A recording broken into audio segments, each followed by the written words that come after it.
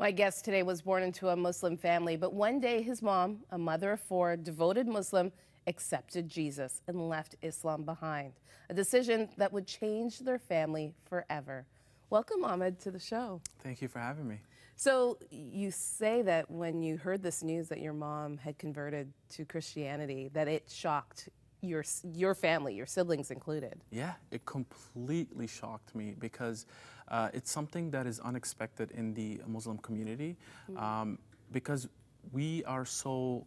Um, they showed us a certain way and never showed us any other way. So we thought that uh, that she will never come to that place. Mm. And when she did say that, it honestly my heart dropped because of the possibilities of other things you know, uh, the persecution, um, what my family would think. So it, it did, it did kind of shock me, especially. Uh, my brothers were also shocked, but I think more so for me because I'm the oldest, mm. right? Hmm. So yeah. What did your mom say? What what changed in her that she was interested in Jesus all of a sudden?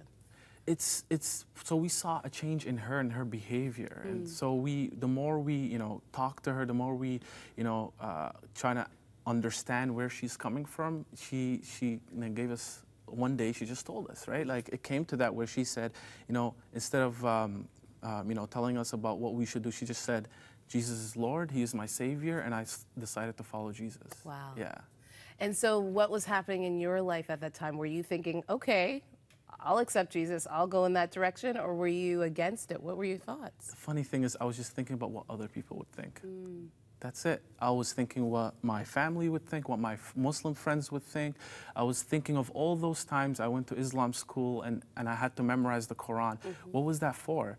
It was for nothing. You wasted our time, mom. Like, what is this? So, it, a lot of questions ran in my mind. Mm-hmm. And, uh, and I think I was just uh, more so shocked rather than trying to figure out what's, what was happening, mm. right?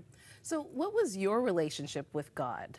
For me, it was more of what I can do for God. I think the difference, and, and I'm starting to realize that now as yeah. more as I follow Jesus, the difference was me trying to prove to God that I'm worthy.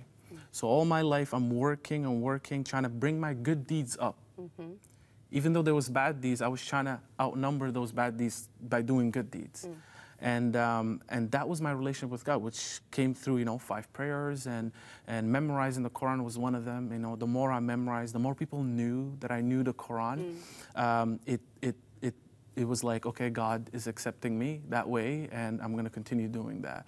Um, but it, it's because of the pressure, right? So it's that pressure that allowed me to think like that. And also, uh, the funny thing is, I did all of that, but I didn't know what God really wanted. Mm. It was just based on what they told me, based on what my uncle said, or what my aunt said, or my cousins said, or my brothers or mom said, right? So. And you also talk about being focused on self. You were focused on your career, on you know accomplishing things, and it was more focused on you than anything else. Yeah, exactly. And that actually happened when when my mom made that decision and she told me about her following Christ. Mm-hmm.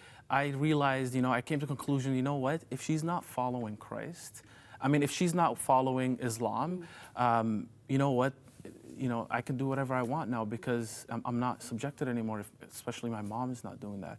So what had happened was I went on my own road uh, because I was on somebody else's road, which is my family's road. And since that broke, I went on my own road and I started doing things that I wanted to do and I couldn't do because of my religion. Like what? Like things like, you know, coming to Canada in a Western world, yeah. uh, you have these imaginations in terms of, you know, partying and doing this and getting the girls. So you build that up in your mind. And when you come to a place to Canada and you figure out that you have some kind of freedom, hmm. you tend to, it's like a list that you go through, you know, and if I go through this list, I'm going to be so happy because these people on TV looked so happy. Mm. So what happened is I had that list in my mind and I went for it. Um, and for 10 years, even though my mom told me the gospel and told me why she followed Christ, and even though I saw her change, and it was almost like God was showing me before my eyes, looking back, He was showing me how He can change one person for the good. And, and, I, and I completely turned away and I said, you know what?